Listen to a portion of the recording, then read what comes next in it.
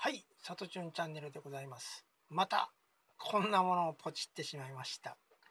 えー、今回買ったのはですね、これ書いてありますけど、ミラー、ミラースクリーンって書いてありますね。はい。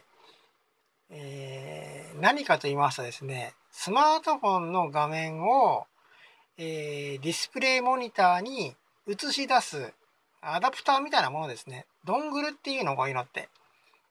えー、まあね、あのー、ざっくり言ったらですね、えー、っと、クロームキャストのようなもんですよ。クロームキャストはね。皆さん知ってるでしょ？いや、僕知らんかったんですよ。クロームキャスト。なんか売ってるなーっていうのは知ってたんだけど、それが何であるかっていうのはね、ちょっと別に、あのー、興味がなかったんで、私も知りませんでした。なんか売ってるなみたいな感じで。うーんって言うんだけど、これがですね、ちょっと革新的な、僕にとってはね、これは革新的なデバイスになるんじゃないかなと、ちょっと期待してるとこなんですよ。それは何でかというとね、これ本来は、まあ、ありえないですけど、まあ、こんな感じね、イエーイってなんかこう会議とかでね、使ってますけど、まあ、こんなシーンは絶対ないと思うけどね、なんか、ま、スマホの画面をこんな感じで映像を映し出すと、テレビモニターにね、っていうものだそうです。大きさはこんなちっちゃいの。USB メモリよりね、ちょっとでっかいかなっていうぐらいのもんですね。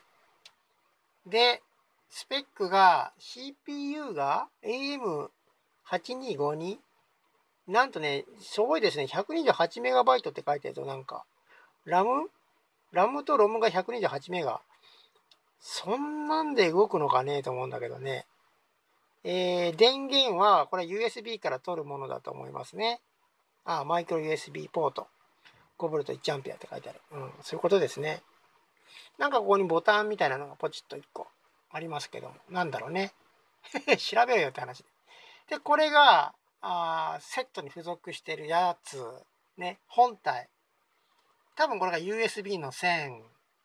なんか知らんけど謎的なやつ。で、なんだろうね。マイクかな？マイク？スピーカーじゃないよね。うん、なんかこういうのがついてます。えー、あ、これね。えっと、ここに書いてあるけど、まあ、大画面でゲームができるよ。えー、大画面であなたのスマホが映せるよ。家族みんなで楽しめるよ。えー、ビデオが見れるよ。ミーティングに使えるね。車のモニターとしても使えるよ。本当かね。うん。まあなんかそういうことらしいです。どこまでほんできるか分かりませんけども。はい。でね、まあこれ何に期待してるかっていうとですね、あの最近何ですか？えっ、と、サムスンデックスでしたっけ？あの、あとはファーウェイのメイト10とか、えー、スマートフォンをパソコンのように使うことができるという機能がね、なんかちょっと話題になってて、私もすごくそれ興味があるわけですよ。えー、かつてね、Windows 10モバイルで大失敗した、ね、大失敗？大失敗とはあれなんだけど、今もう開発が終わっちゃってるね。えっと、コンテミウムっていう機能。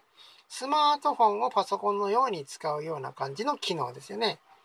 えー、それが、あこういうのでいいんじゃないかなと。